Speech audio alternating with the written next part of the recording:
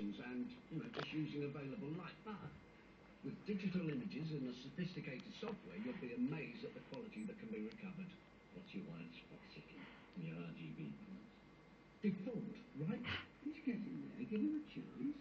I didn't know you were such a digital whiz. Know. It's just, um... Uh, this person is a suspect.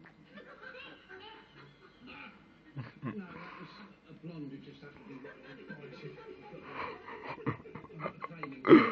oh, God.